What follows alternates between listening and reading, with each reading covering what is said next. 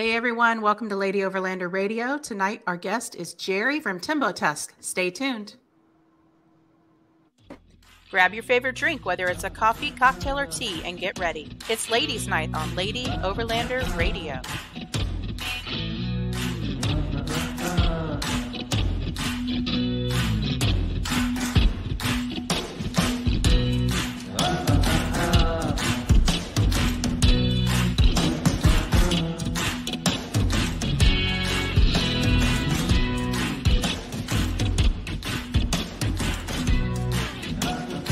Lady Overlander Radio is brought to you by Artemis Overland Hardware, the More Expo, U.S. Action Tracks, and Adventure Trail RV, maker of the Overland Shower. Hey, girl, hey. Hey, girl, hey. How you I can't help but keep dancing after the music. I can't. it makes me happy. Yeah, I still need to edit that one though because we still have to add our two new sponsors, Midland Radio and Tembo Tusk. So Hi, Jerry. Hello. How you guys doing? Good. Thanks for having me on. This is exciting. Oh, it's awesome. We're we're Jerry's first official real live podcast. He told us so. Kind of feel like we're cool. we're in the cool kids club. Yes. So um, before we get rolling into the show, I wanted to take a moment and talk about the Lady Overlander Radio Camping Retreat and uh, the location that we're going to be having that. So I just found out, I got word that Gypsy Camp and Canoe, where we're holding the camping retreat, just um, suffered severe flood damage. What was it? A week or weekend, last weekend or the weekend before, I think. Um, the weekend before. Yeah. so um, their buildings, I've been there um, touring the property, and their buildings sit pretty far off the river. So that the Illinois River went over its banks quite a bit. And these are their brand new remodeled bathrooms they had just done. And uh, that's their office area. He's ripping out um, sheetrock. Yeah, sheetrock there. That's pretty. They, they got hit pretty hard. Uh, we're still planning on having the camping retreat there.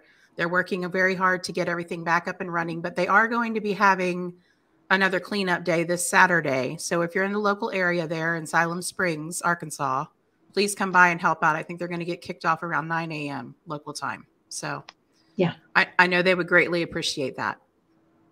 Yeah. So, other than that, um, next week we're going to be rolling into Kentucky to the Daniel Boone Back the Byway event. And that Friday night on the 20th at 7 p.m., we're going to have a ladies' fireside chat. It'll be right at the big uh, campfire area, right outside of the mm-hmm. general store. So if you're going to be going to Daniel Boone Back the Byway, come on by and hang out with us. Other than that, uh, we have Jerry on tonight, and we're going to be chatting about some new products he has and what things he's going he's got going on and where he's going to be this year. So I know he's got a full schedule as well. So welcome to the show, Jerry. Well, thank you. and uh, if you don't mind, just take a minute and give everybody a little background on yourself. Well, you know, I've been uh, doing overland stuff for a long time. Uh, it's new here in the states. You know, the last ten years, uh, Overland has just gone nuts. It's mm-hmm. really gotten big. Um, 1984, um, I was a little younger, just mildly. Uh, I did a uh, an overland, a real overland trip from uh, London to South Africa through Africa. Nice. And uh, we used a, a Bedford ex Army Bedford truck took about four months to go through uh, through Africa, and uh, I tell you, saw things, did things uh, quite amazing, beautiful. Uh, actually, a lot of a lot of parts of Africa can't go to today. Uh, it's just too dangerous, and there were places there at the time that we couldn't go as well because it was too dangerous. But uh, it was a, a, fantastic trip to do. At I think what I was 24 or something like that, and um, and then came home, had to uh, get back to real life, and um, I uh, became a real estate broker and did that for about uh, 25 years. And then um, a few years ago, I decided about well, 12 years ago now, um, I couldn't find stuff on on the market. I was trying to outfit an FJ60 uh, mm-hmm. to be for overland, you know, with rooftop tents and uh, everything that I needed and a fridge and whatnot. And it was hard to find. Uh, there was just no uh, uh, nobody was selling the gear that I needed. and uh, and we I decided you know I I had this little fridge and uh, turns out they're heavy, uh, and I wanted a slide so that I could use it, but I had a I had a uh, uh, a drawer system in the truck, and I thought, well, you know, every time I got to use it, I got to pull it down and uh, you know open it. And uh, my son at the time uh, you know of course you have a fridge they're in it every five minutes. Mm-hmm. Uh, and every time he needed to get in i'd have to pull it off the shelf put it down on the tailgate and i thought i'm going to hurt myself. You know these things are heavy and i thought i, I need a drop down slide. And um, yeah. tried, tried, to get one in, in australia.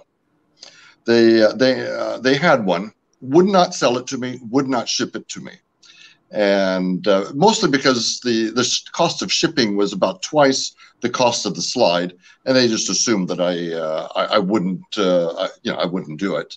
Yeah. And they were they were more or less right. I was like I can't do that, and so I started tinkering and uh, you know kind of um, started building one in my my garage uh, and uh, um, eventually you know figured out that hmm maybe I've got something here and uh, got a patent on it and uh, went to my first expo in uh, Overland Expo in 2010 and uh, kind of haven't looked back since. Uh, we started doing flat slides, we started doing camp tables, and uh, then about 2015, we introduced the our Skottle grill kits. Mm-hmm. And um, and really, we haven't looked back since because it was really a hobby up until that point. And, uh, you know, I've since retired from being uh, in real estate, and this is really a lot more fun. Real estate was uh, good for, uh, you know, it's a good business to be in, but it wasn't any fun. Uh, and I was in property management, which is even less fun. Yeah. Uh, and because nobody's happy. I mean, the the residents aren't happy, the owners aren't happy. The, it, it just doesn't matter. You can't please anybody, and we were stuck in the middle. But now everyone who walks in the door, they're going camping, and they're, they're happy, happy. and uh, and they're buying something that they want, and they leave happy, and it's like, oh, this is this is much much better, and uh, so I, I'm enjoying this now.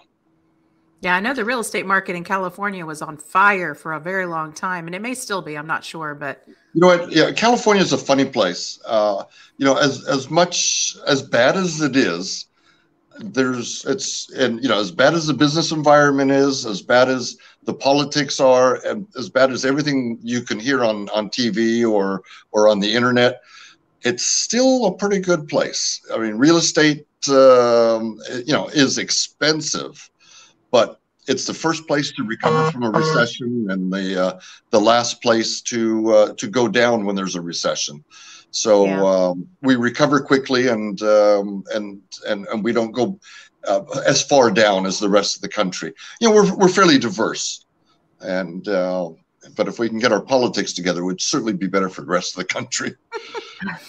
I know. I was stationed in uh, Petaluma at the training okay. center for the Coast Guard, and I just it's so pretty there. All we did there when we were stationed there was hike and hike and hike. I mean, we had very young children, we put them in a stroller and we would just hike. We'd get outdoors because we didn't have a lot of money and we didn't have a lot of other things to do. So whenever we weren't working, we were outdoors in California because the weather is so nice. You know what? The weather's, you know, you know what? Middle of winter, I, am uh, you know, the difference between winter dress and summer dress is the color of your t-shirt. Um, and, and, that's, and that's it. You know, it's a white t-shirt during the summer and a dark t-shirt during the winter and uh, that's something that's hard to, that a lot of people don't understand. I mean, it could be January, and we're outside working on our trucks. Uh, we're you know literally in a short sleeve all year round with a, an occasional. You know, if it gets down to 50 degrees, I mean, we complain. Uh, yeah. We don't. We don't. Know with the world, is, you know, the, the sky is falling in if it gets down below 50. That's the same way in uh, Florida, by the way. yes, we do the same thing. Yeah, and uh, so it's it's just funny the way you know you look at the rest of the country and they're they're they're buried for a good part of the year, and it's like eh, all the toys get put away and uh, until spring, and uh, you know we don't really think about that very much. Yeah, that's true. So you've been in California your whole life, or have you? Uh, were you yes. originally from? Okay, so you know what, my, um, uh, yeah, I am originally from California. My uh, my parents immigrated the year I was born uh, from Canada. So you can see I have a strange last name. It's French, and uh, so my family came from uh, Montreal, and uh, we spoke French in the house. And I unfortunately don't have a lot of people to speak to anymore, so the French is getting rough. But but if I could spend you know a month in Canada or a month in France, it would come back nicely. Yeah, I took I took French in college, and it's embarrassing how little I remember of the language. It's hard, you know, if you don't use it, it. I mean, like I say, I grew up speaking French, but because I have no one to talk to, you lose it. It yeah. it goes away, and uh, so it's not it's not surprising that uh, that you don't remember it. It's it's just you don't use it. That's true. You Got to use it or you lose it. I know uh, that's. I mean, it's the same with any language, even sign language. I took sign language in college as well, and I remember well, very few signs.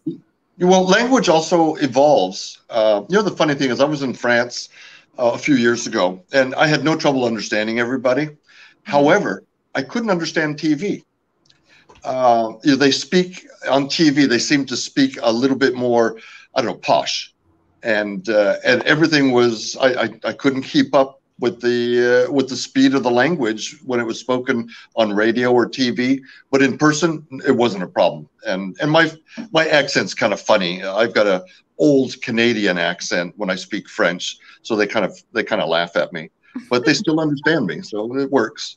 Well, people laugh at my accent in Arliss too, so. yeah, if we didn't, you didn't have an accent, it'd be no fun. So. Exactly.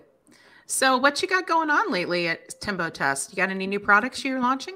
Well, we do. You know what's funny? It's uh, it, they they come in bunches, and you guys have one of those new products uh, that uh, we debuted at the the More Expo, uh, which yeah. was our uh, our basin table. And uh, what? thank you.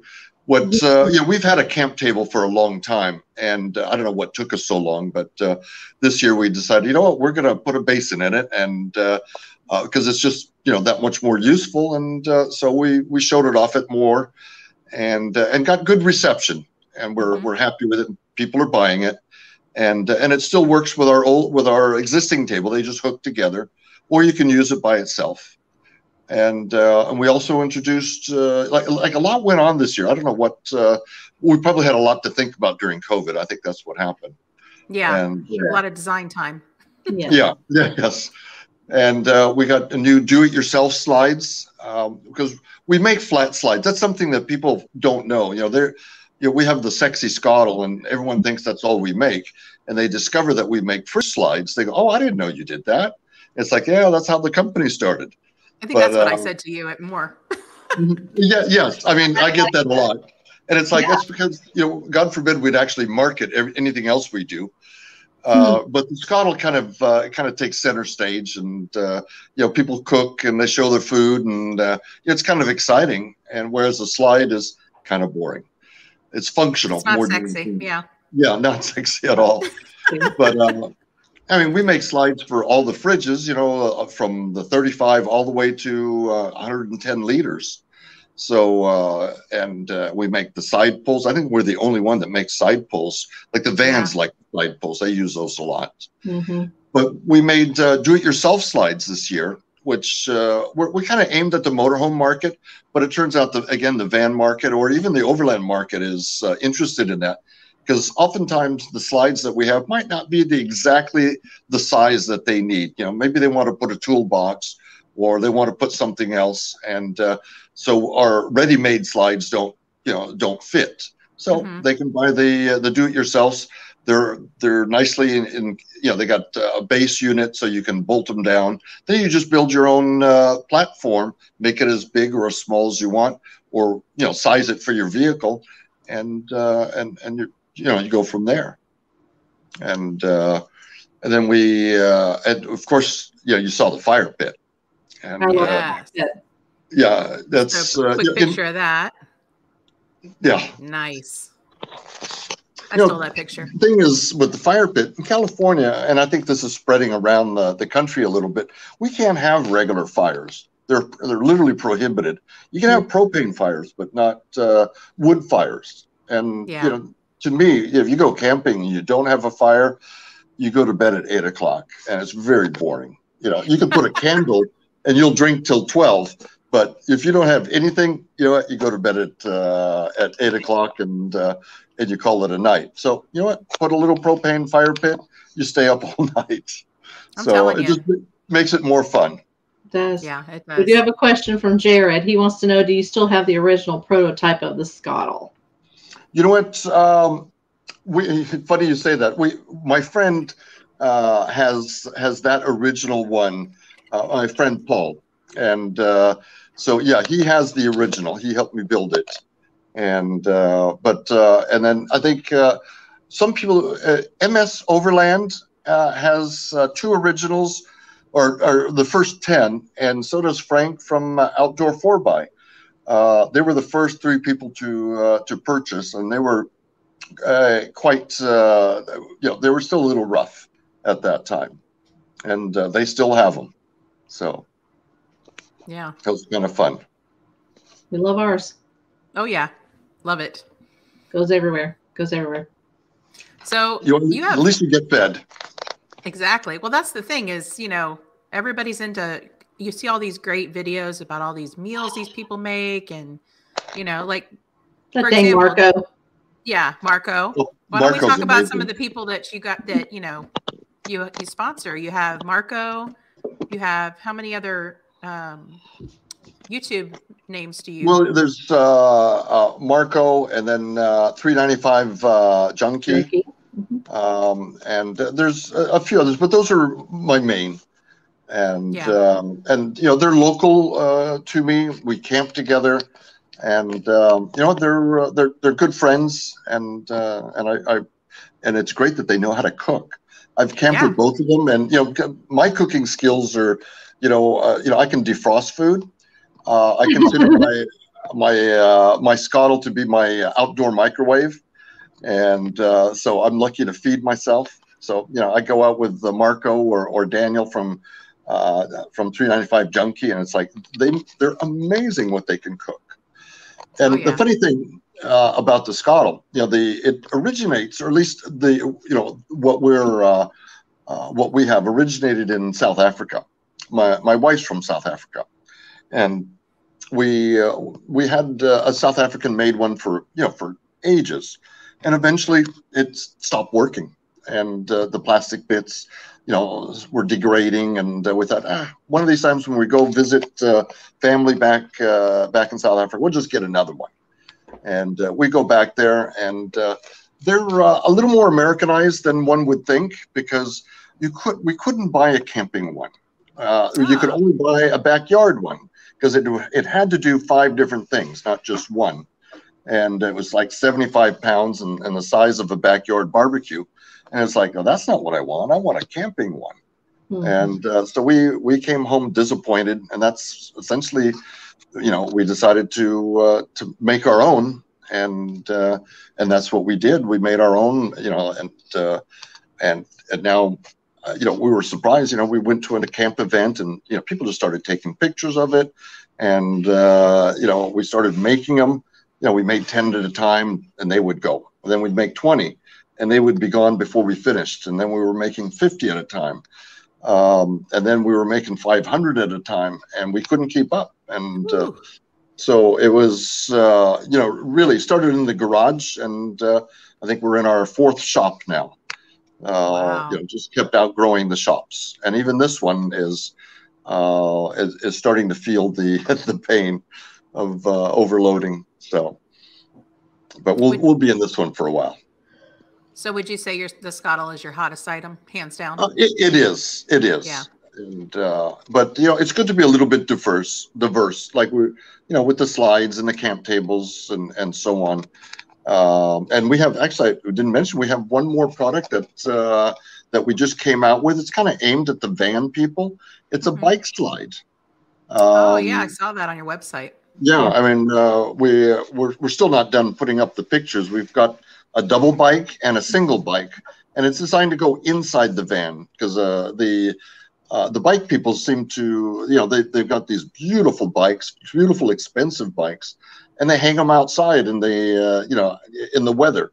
So um, we thought, yeah, I'm sure that they'd like to maybe park them inside the van, keep them out of the weather and prying eyes, and uh, so we've got that, uh, and we're starting to get a little bit of traction on them. Uh, people are starting to see them, and and we're like I say going to a few van events and seeing what uh, what what the you know that industry is looking for. So, what does it slide into the back, or It slides into inside the van. So that you can pull the bike all the way out, take your bike off, put it back on, then slide it in. So you don't have to kind of crawl into the vehicle to uh, to bolt your bike into inside. Uh, it just gives it easier because you can deal with it outside, and and then push it back in, close the door, and you're done. very cool? I feel like that's for people that are like solo travelers.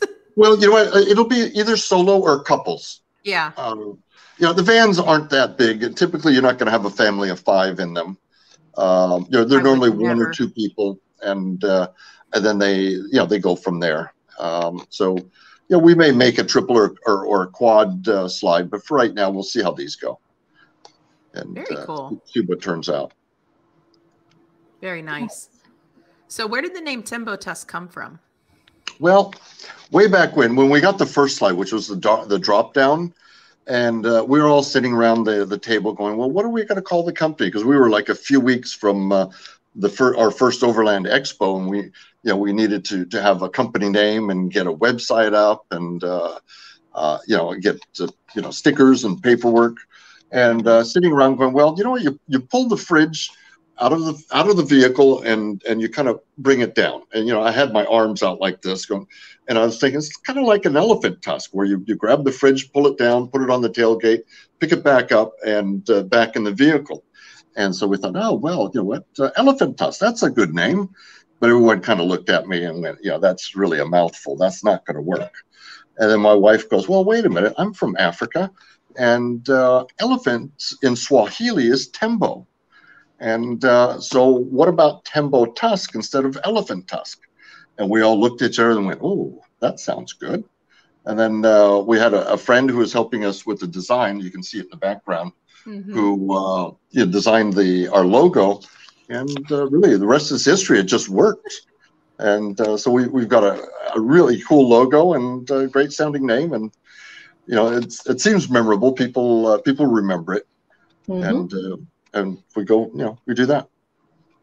Yeah, they remember Tembo Tusk and they remember Skottle. yes, they do. No, I do. I do like a lot of your products, and I love the back to the basin table that we were talking about. That the newest, one of the newer things that you've released recently. I like that. So we we carry collapsible little basin Yep. like that to do Yep. dishes.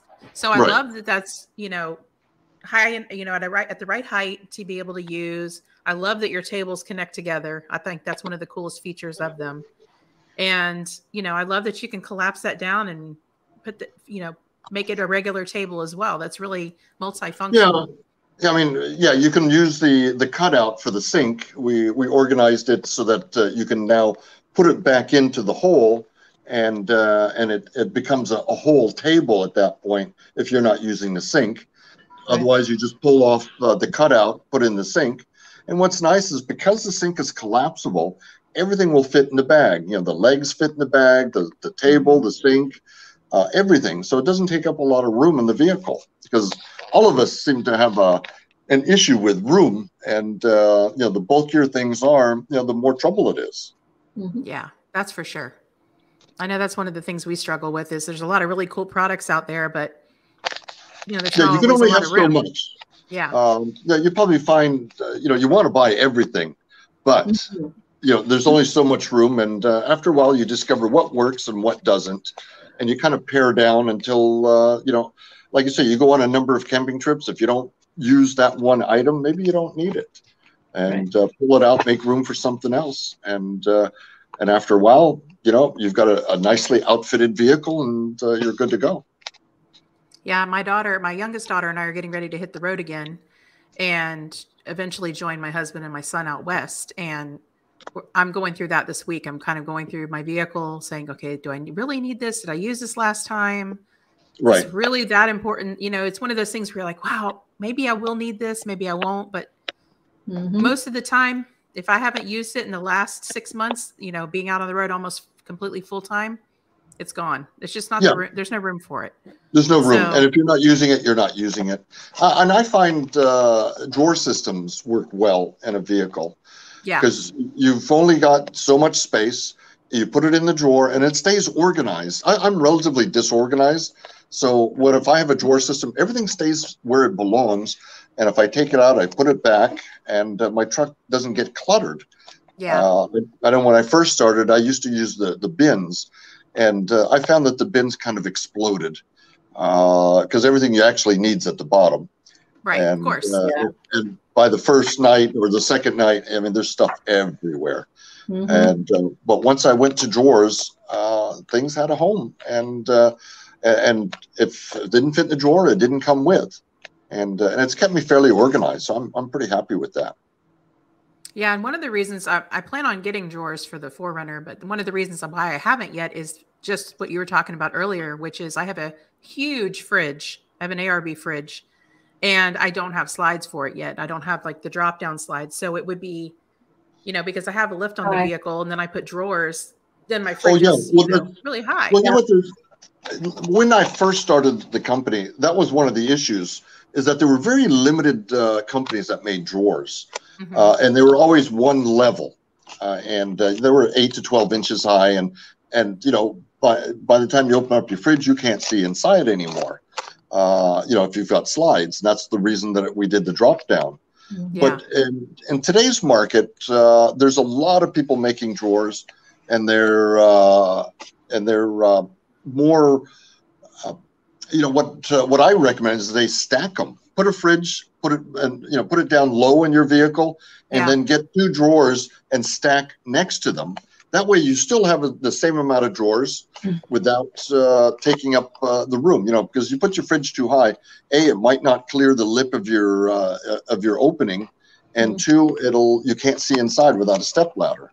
I have So- a step stool for my Jeep because I can't see in it. Let's see. I open the lid, I can't see in it. So Right. I have a step stool. Yeah. Yeah. Sometimes you can't get away from it, even if it's low. Mhm. And uh, and I, I think the fridges as well. Um, you know, I, I think people tend to buy too big a fridge, uh, and uh, they come from coolers. Coolers, you you know, ice takes up seventy five percent of the uh, of the space, and so you need a big cooler. And then uh, when you swap to to a fridge, you look at that tiny little box that they call a fridge, and you're going, "I'm never going to fit anything in here. This is way too small." So they buy a ginormous fridge.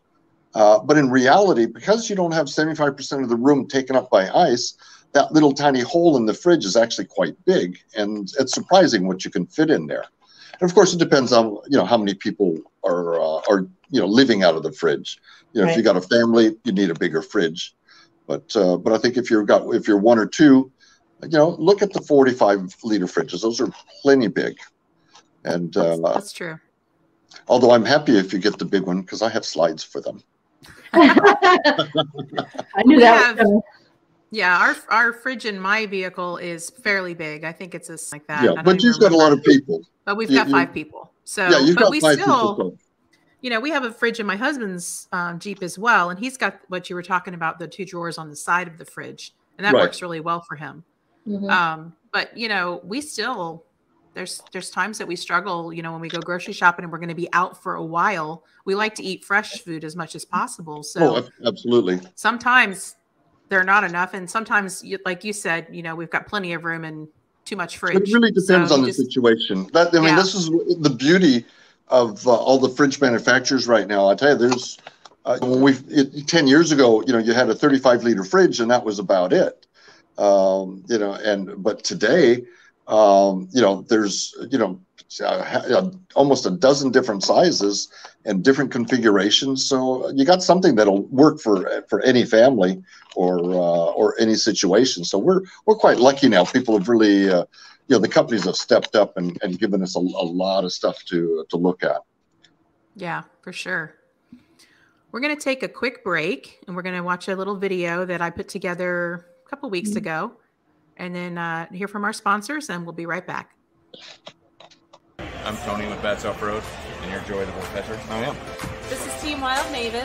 Hey, this is Ross Potts Design. Hi, this is Jerry from Tembo Tusk. Hi, we're Cotawampa Overlayer. What's up, guys? This is Oscar Mike Overland. Hey, I'm Matt. And I'm Kara with Ozark Overland Adventures. Hey, this is Aaron with Artemis Overland Hardware. Hey, this is Chris with More Expo. You're watching. You're watching.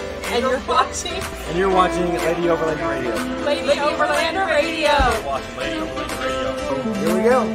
Hey, girl. Hey. Hey, girl, hey. Hey, girl, hey. Hey, girl. Hey. Hey, girl, hey. Hey, girl. Hey. Oh,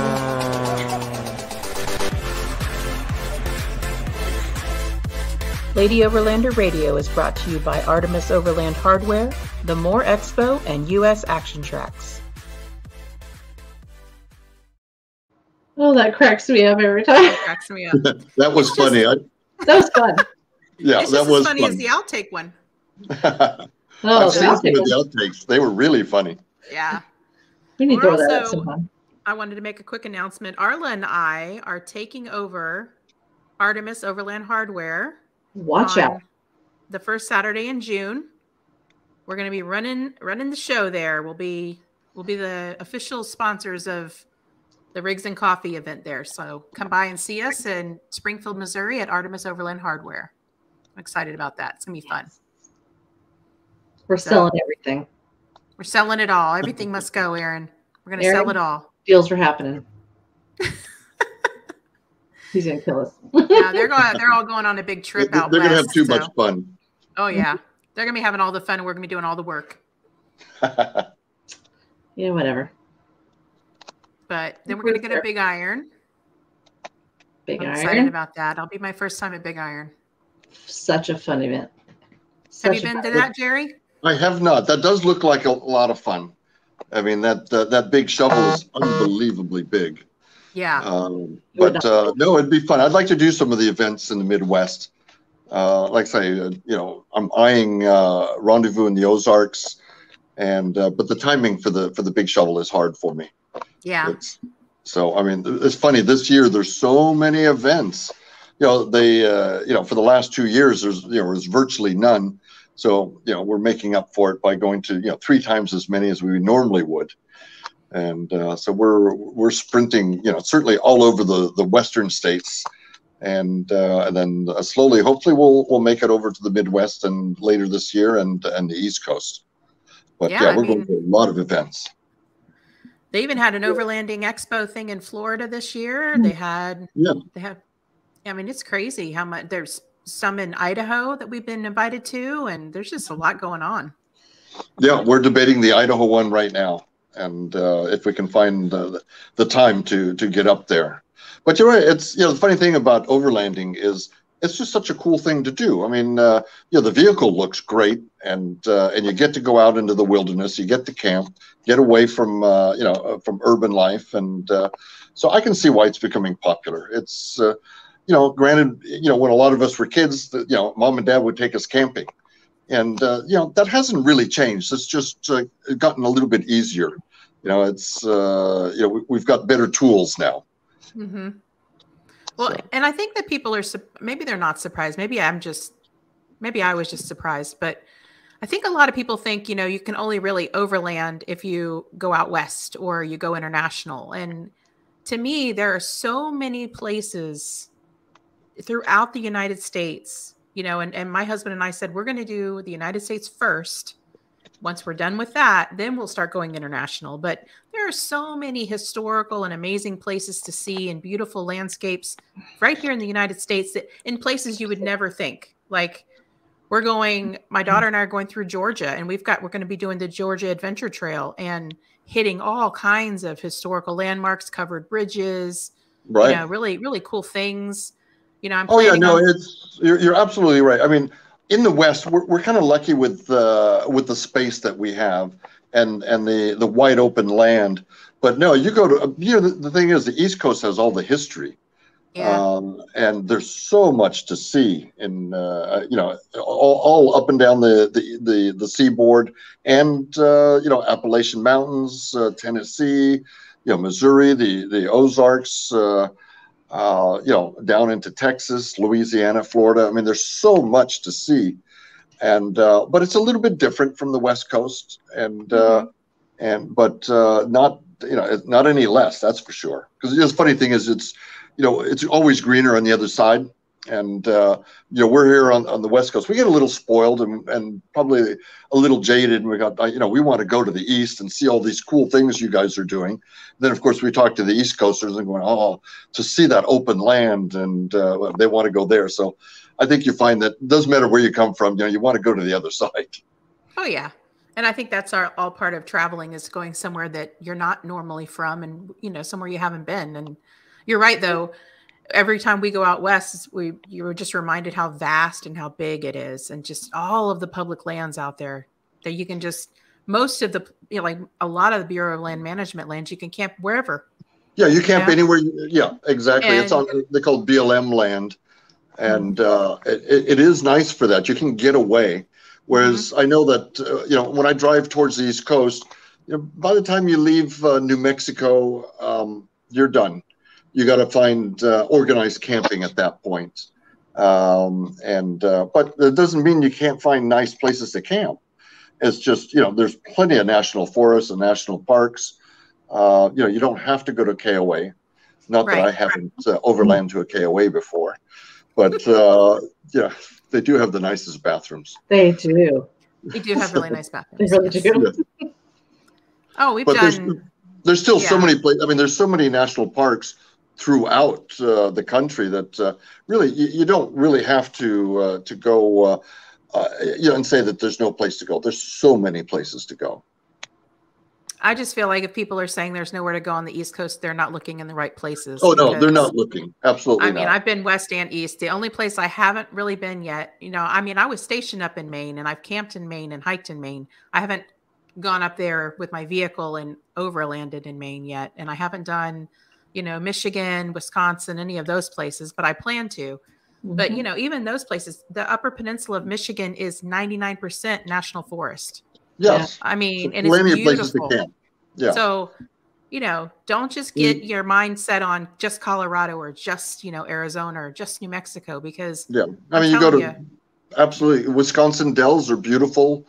Um, you know, you go to the Catskills uh, in you know New York. Uh, you know the, the the beaches up and down the the coast. Uh, there's so many different places. Mhm. So, and we did the Appalachian Trail one year, not the trail, but the uh, uh, the uh, Blue Ridge Highway yeah, and uh, you know so many beautiful places to camp all along the highway uh, you know they're all national park type uh, campgrounds but they're rural enough that you feel like you're you're you know you're out in the, in the woods that's something else you know something we don't get is a lot of woods so it's really nice to to be able to to camp under trees and uh, and whatnot so it's funny because we have a, a small off-grid cabin in Arizona, and when we came back to the East Coast after being out there a while, I just remember going, "Wow, I missed all of this green. It's so green in the East, and it's, you know, it's very dry and a lot of different browns and tans and beiges and stuff on the West, but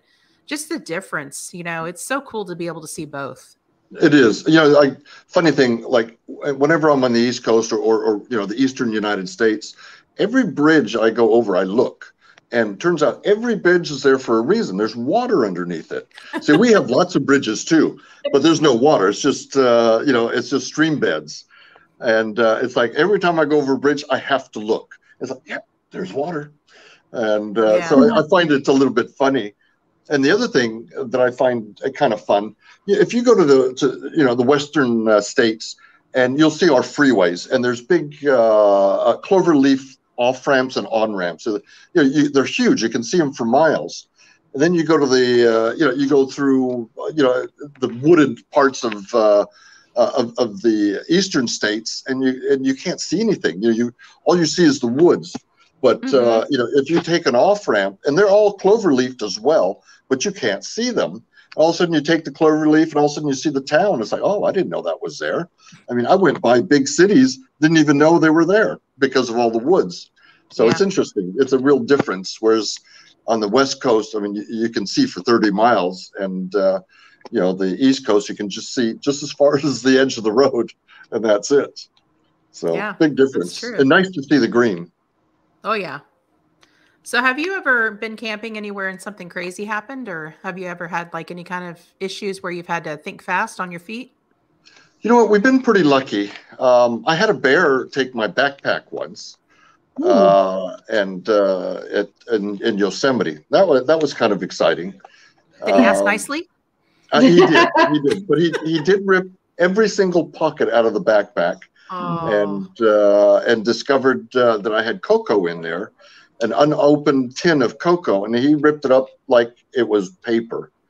And uh, that was probably the uh, the most interesting. Otherwise, we've been uh, we've been pretty lucky on uh, you know not running into problems. Uh, you know, or you know whether it's four legged or two legged. We've Yeah. been uh, very very lucky.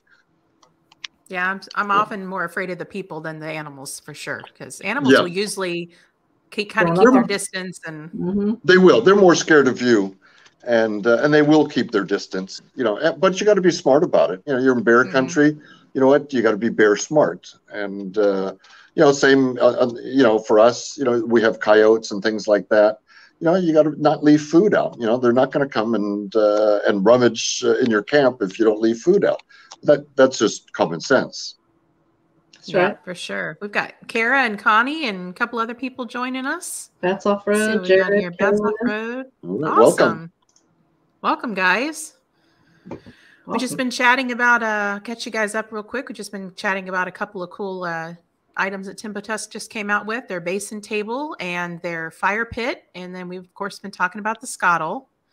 So now, Jerry, I'd like to talk about this beast. Sure. Oh, Yeah. look at that. Yeah. Tell us about this. Tell us about Yeah. your build. You know what? I'm on the road a lot, um, and uh, I needed something comfortable. You know, I I had a, an FJ60 for a long time, and I loved it. Had a rooftop tent, really enjoyed it, but uh, but I needed something that had a few more creature comforts, and uh, so I got a, a Tacoma, and uh, got a uh, AT Overland uh, Habitat on it. Uh, and then started outfitting it. I, you know, I've got goose gear uh, drawer systems inside, uh, and uh, I I made it so that I, you know, I, I think one thing about the rooftop tent that uh, is I didn't like having to put my pants on laying down, Yeah. and That's not and, then yeah, yeah, no, and invariably, you know, you, you- you you need to go to the bathroom in the middle of the night. You got to put your pants on, and then you got to put your, your your shoes on to get down that rickety ladder. And uh, it, I didn't enjoy that as much, although I like being way up there. But Yeah. the, the coming down the ladder part, I you know, wasn't as much fun. Now, you know, I, I, I can get out of bed, stand up, put my pants on. Uh, I've got a sink, I got a fridge, and uh, I, I even have a heater in there and uh, so it's got I got all the creature comforts I need. It's very comfortable, and uh, it, it takes me about five minutes, no, three minutes to open and about five minutes to close.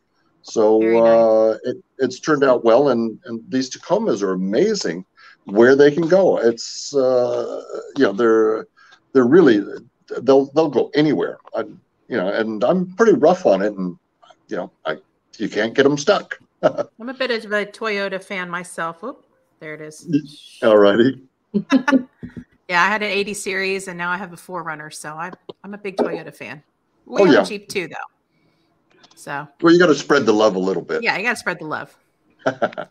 we're we're a house divided for sure, but both Arla and I and my husband. But you, and but you got, but someone's got to go get the Jeep when it breaks down. So that's Yeah, why you exactly. have a Toyota. Yeah. yeah.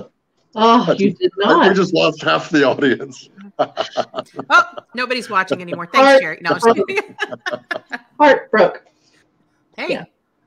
no, that Jeep Arla has is pretty pretty sweet. It's a nice rig. She's she's done a good job with that. Yes. No, they, So- uh, uh, actually most of the fr- most of the the vehicles, I tell you, it's you can make them look so good, and, Oh, uh, yeah. and they're all they're all so capable. It's hard, it's hard pressed to get some that are not. I mean, between the Jeeps and the Toyotas and the Land Rovers, um, you know, the uh, they'll get out there. Well, you Oh, can for make them your own. I mean, everything you do to it is your own touch. Oh yeah, there's not one that's exactly the same. Yeah, you don't want to look like anybody else's. You want your own Yeah. And that's the fun thing about going to some of these events, uh, you know, like the big uh, shovel or the uh, uh, the rendezvous and so on. Sorry, what, what's it called again? I Big call it the big shovel. Rally. Brutus, Big Iron Overland. Big Big iron. Yeah. Big iron. The big shovel the big shovel. It's big iron. Yeah, that Uh, thing is and then- massive. Mr. Holloway hears that.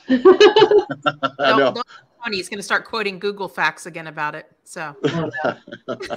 I'm sorry. Yeah. Uh, but No, uh, it's uh, you know you get to visit other people's camps and see what they've done, and uh, like I say, every camp is different. You get ideas from them. It's like, ooh, I hadn't thought of that. Maybe that's a maybe I should try that. So that that that's a lot of fun to to go uh, looking at what other people are doing. Mhm. Oh, for sure. And I I love just seeing how creative people can be. Just, you know, you got your your really high-end expensive things and you've got the big massive, you know, run over tree kind of rigs that that are out there, Earth but you've also got people that build their own, you know, things inside and out and they have such Mhm. a great use of space and they try like, you know, just how, kind of how you started. You saw a need, you you had a need and you figured it out and built something. And Right. it's just so cool to see all of the different things that are coming out from so many people. Just, you know, a lot of them were just things that they were like, you know what, I need this. They build it and they're like, maybe somebody else would need this. Yeah, th- this is what You you know? know, how a lot of companies started, and uh, and what's yeah, it's what's nice about the Overland community. I mean, it's a great community. Uh, you know, the the a lot of the businesses, everyone talks to everyone, and uh, Mhm. it really feels homey, which is nice. It's uh, it, it's it hasn't grown too big yet, which is nice.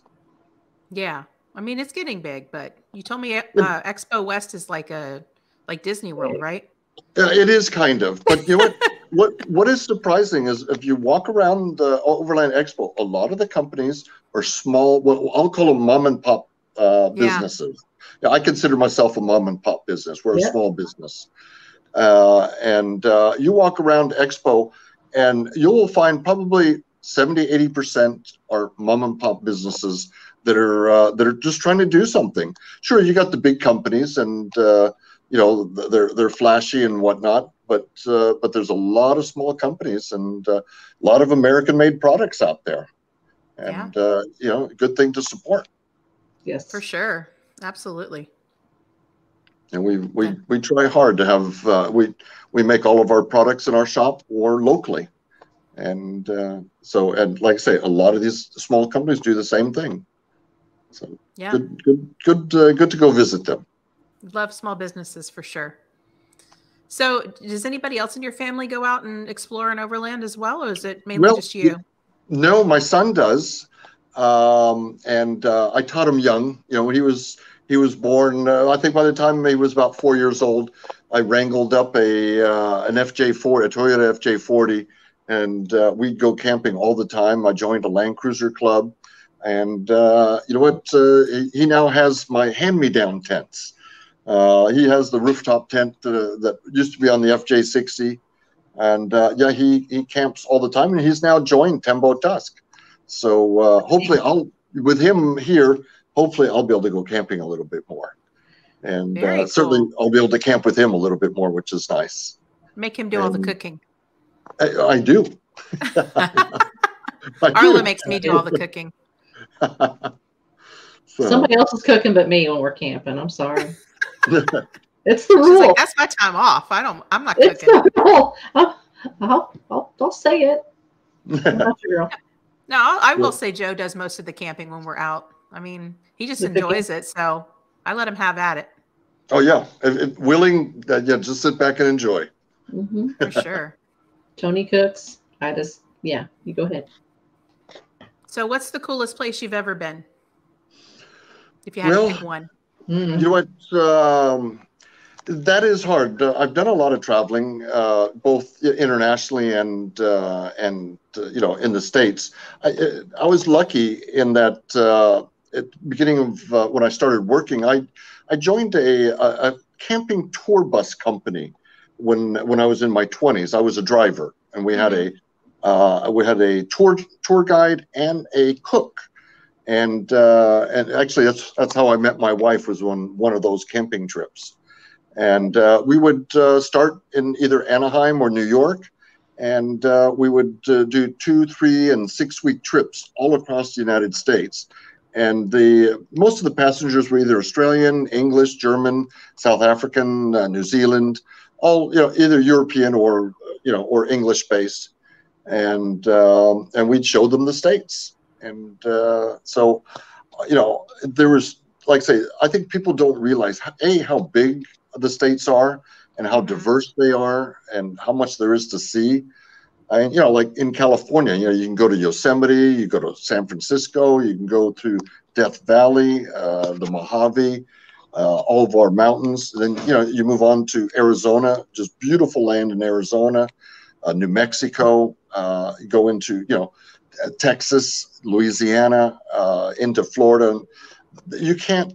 Everywhere you go, there's, there's beauty to be seen and um, uh, so it's hard to pick one place out uh, that uh, you know I like I said I really enjoyed uh, you know Wyoming Montana uh, an interesting trip if you ever take a round trip you know round trip meaning around the United States you know I find that if you start in uh, in California go east go all the way to the to the coast then go north and then back west across the top every day is prettier than the last day Oh yeah. and, Oh, wow. and uh, yeah, if you do it in the other direction, sometimes not so much. It's it's uh, but if you if you do it in the in the counterclockwise, it seems like every day is prettier than the last one. So it's it's kind of fun. yeah, we did uh, we did the Pacific Northwest last summer and the only the only problem was because of all of the fires, all of the wildfires, we missed a lot of northern Washington and you know northeastern Washington state, um, northern Idaho, that kind of stuff because there was so Yeah. many so many forests closed and stuff. But we got to see, you know, we fell in love with Wyoming. We got to see a little bit of Montana. We're going to go back and and hit that again. Oregon was amazing, just so is. vast between the coast and the rest of the state, so different. And uh, you know, it's just crazy how many like we were stationed in California, so we've seen uh, quite a bit of California. Uh, we want to explore some more of Nevada and probably some more of Southern California. well, Um, like I say, I mean, it's fun. You know, the deserts. You, you get to see the ghost towns and uh, yeah, uh, uh, you know, really diverse, uh, you know, uh, you know, territory. Uh, we have a highway called Highway 395 that is absolutely beautiful. Uh, you, know, you can drive it from uh, California all the way to Canada on Route 395, and it's beautiful all the way up. And uh, you know, if anybody's doing that, well worth uh, uh, you know uh, trying that route. yeah. So and camping, you know, wild camping all the way up. well, there's also the TAT. Have you gone on the TAT? The uh, Trans. You know what? I haven't. I would love to do that. Yeah, Um, yeah. The, I've the done portions of it. Transcontinental- Haven't done the whole thing. Yeah, that would be fun to do. I, I need my son to uh, to uh, um, you know help me retire, so I can Yeah. do more of that. That's a. Take over, son. It's my I time. need, I need to become more redundant than I am right now. No, but you you said something earlier that I wish more people, and I think a lot more people are starting to do. But you know, when you went down to South South Africa, you were twenty. You said you were twenty four. Uh, I was in my yeah, I, in uh, I did a lot of traveling in my twenties. Yeah, I yes. I think people, uh, uh, you know, if you have an opportunity that you travel in your when you're young, from 20 to to 24, 25, uh, and uh, don't start a family until you're at least 25 or 30, uh, Yeah. because there's so much to see. Because once you're tied down, it's hard. You can't. You're, you're done until the kids are grown. Yeah. Um, I mean, granted, you can still travel with the kids, but it's a it's a lot harder. A lot Your more money's a lot logistics. tighter Mhm. and uh, but uh, I mean, I traveled all through Europe. Um, you know, I, I you know backpacked through Africa, through uh, through South Africa. Uh, you know, took a truck uh, with a group of people. You know, all the way from top to bottom of Africa. You you couldn't do that. Uh, you know, if you're married or have kids. You know, because it's it's you know it, it takes too long. Uh, but if you're single, you, you do it. And we had a group of people, and uh, you know, we had a great time all the way through. And so I Yeah. highly recommend you get that, you know, that out of your system essentially. And uh, and you've got great memories the rest of your life at that point. Even if you don't travel again, you've done it. And um, yeah, so yeah, well, well, well worth it. I mean, I, I learned how to ski in in Austria. Um, Wow. You know, yeah, I mean, it was yeah, I could have learned here, but uh, but it was more fun to go Yeah. learn there. and um, you know, It's cooler So- to say you learned it in Austria, though. it, Yeah. it I'm not is. gonna lie. It is. Yeah. I just think it's important for people to explore, especially like for for instance, me, I came from a small town. You know, I mean, I was born in Miami, but most of my childhood I grew up in a very small town. And that's one of the reasons why I joined the military was to go out and see other places because I didn't Sure. want to just live and die in that small town, you know, and that, that's okay if that's what, you know, people want to do. But to me, there's just, you know, it'd be hard for me to pick a place too because every single place I go, I'm like, wow, this is so cool. Look at all this cool stuff you get to Yeah. do here. And then you're there a while and you're like, okay, what's the next place? What's the next Yeah, place I can go see? it is. You're absolutely You know? right. I mean, I think a lot of Americans don't travel enough. Um, they get stuck in a rut, and um, and I, again, I think this overlanding has uh, opened up people's uh, horizons a little bit and uh, introduced travel that, to them that maybe they wouldn't do otherwise. Mhm. Uh, and uh, and even like I say, in the states, there's so much to see. You know, get out of your own state. Go look at the other states. Uh, you know, go to the county next door, even, uh, Yeah. and and see what's what's happening out there. So, yeah, I, I can't but- tell you how many times I've been to a state and I'll meet somebody local and I'll say, Oh yeah, we were just over in this part of the state and we saw this and they say, Mhm. Oh, I didn't even know that was in my state. You know, they don't even know sometimes what's right in their backyard. No, no, and they've never left. They've never left uh, their area or their city. Yep. So it, it's really unfortunate. Travel is opens opens your eyes to a lot of different things. yeah, and Sure I mean, especially with overlanding, you can gra- drive up into Canada. You know, you Yes. can drive down into Mexico. We've been to Costa Rica, Mexico, Panama, Ecuador, and there's just so many different places to see. And I think that, especially with you know the last few years with other, everything being shut down, now is the time to get out there and just explore I- while you I think- can. You know, I think the shutdown has actually taught people something. Uh, you know, a lot of people say, you know, I can work from home now. You know, we're lucky. We live in in, a, in a, an age uh, where we actually can do that. I mean, 20 years ago you couldn't do it, um, but No. today, I mean, uh, look what we're doing right now. You know, we would needed to have been in a studio to do what we're doing right now, Yeah. and that's not practical. Uh, you know, we live on different sides of the country. But yeah. uh, I'm currently in Florida. You're in California, and Arla's in Arkansas right now. exactly. I mean, how, how, Yeah. how, how- that's fantastic. Uh, we couldn't do that uh, even 10 years ago. We couldn't do that, but we live in a time that's that are pretty interesting, and uh, and I think it opens up. Uh, you know, you can travel and work at the same time uh, because we can do it off our computers. Yep. And uh, and if you're lucky enough to have that kind of job, geez, take advantage of it and do it. Right. I'm lucky enough to have that kind of job, but it's taken me a long time to get there, you know? And that's Well, it, it does. that's I the mean, one you, the one positive I would say, like you said about the whole shutdown and everything of the country and the world really, is that a lot a lot of companies that otherwise I don't think would have tried remote work gave it a shot, you know, because they still had things to do. Yeah, they never would have tried it. I mean, never Yeah. would have tried it because it's they're stuck in their ways, and it's scary to uh, to change and expensive if it goes wrong. Now they had no choice; they had to do it, and they found and and I think a lot of companies found that hmm, wasn't it? This worked out pretty good.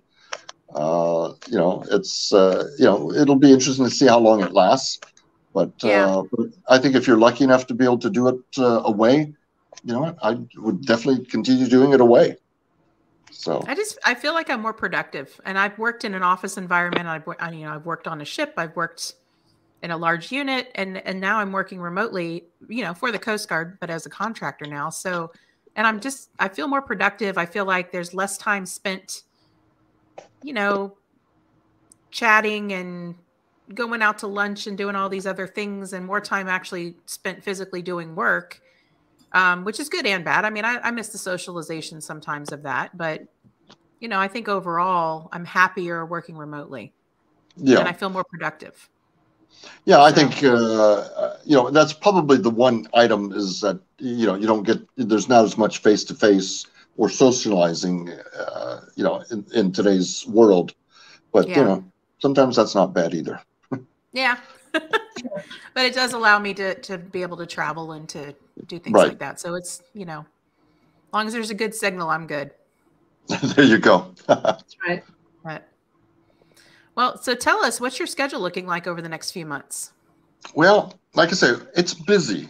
Um, we've got uh, big trade shows like the expos are happening every two months until the end of the year, and uh, and we've discovered uh, van shows right now. We're uh, we're hitting up uh, you know uh, van life type uh, type of shows, and uh, they're being very receptive to what we have, and uh, so it's kind of like doubled our, uh, our our show load for the year and uh, and it's also a bit of experimenting. We've been we went to some earlier this year. We went to motorhome shows, and uh, you know those those were fine, but it, not uh, not quite where we probably need to be. And uh, Yeah.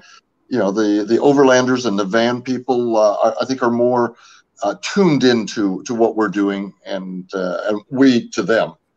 Uh, and uh, and it's also a much younger uh, environment.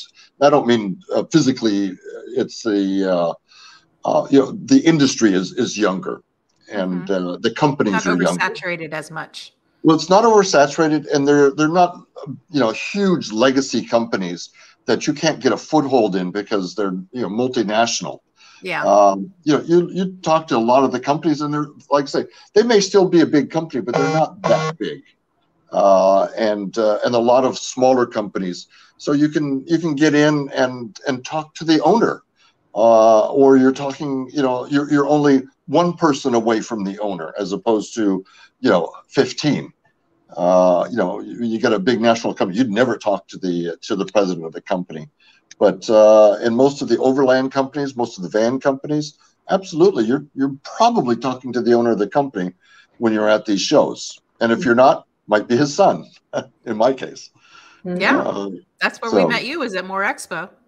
yes, So, yeah, Yep. Very cool. Had dinner and some a few cocktails and enjoyed that expo. It was nice to, Oh, yeah. to unwind at the end of the day, though. That was a those were long days. Much yes. needed. Actually, they were, and uh, but it was nice. I enjoyed. Uh, you know, the funny we funny thing is, uh, you know, left California, got on the forty, and as soon as I could, I uh, I think I was in uh, made a left at Tucumcari, and just took uh, county roads all the way to Springfield, from New Mexico, Tucumcari, New Mexico, all the way to Springfield. I just took secondary roads, and surprisingly, it didn't take any much longer uh, and it was so much prettier and so much more interesting than taking the 40 all the way to uh, I forget is it the 44 that goes up? Yeah. uh, I forget. Yeah. and uh, you know which which is the way I went home and it was so much more boring than the way I picked to go back up or to go to uh, to Springfield. So um, and I did that in Texas as well the last time I went through.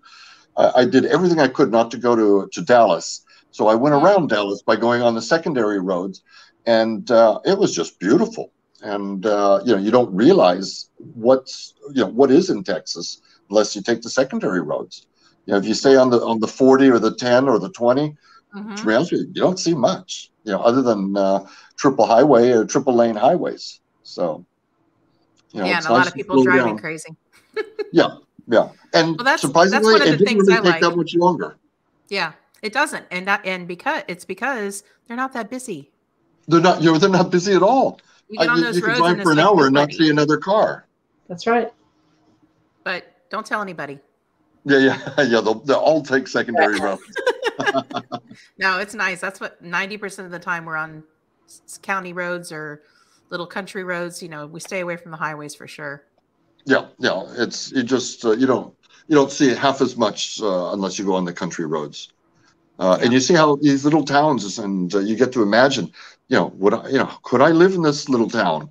You know, and there's four houses. You know, someone lives there, so it's it's interesting to uh, you know to see how other people live. Oh, for sure. Try local foods and everything. That's all part of the journey. Yes, yes. Indeed. Well, thank Of you course, so you much got for being you got to the hit Waffle Jerry. House though. Oh yeah, Yeah, Oh, if you can't hit I Waffle mean- House, we don't have Waffle House, so What? that's uh, that's my go-to. Yeah, They won't come to California. y'all didn't have Dunkin' Donuts before when I first got out there either, and I was very upset. Yeah, I, I, you know, sometimes there's just things that you you just gotta have. exactly. And- and that's one of them. Well, thanks again for being on the show, Jerry. We really enjoyed having you, and you're an awesome person, and we can't wait to hang out again. Well, I look forward to it, and uh, we'll. I'm sure we'll be back at More. So uh, we'll be we'll be in, in Missouri and the in the Midwest again, and Try hopefully at the end of the year, uh, if we go to Rendezvous. East Coast, we'll we'll be stopping in. Yeah, come to Rendezvous. rendezvous. Yep. Rendezvous. Thanks for uh, thanks for having me on. I appreciate it. Absolutely. Thanks for watching, everyone. Have a great night. All right, bye everybody.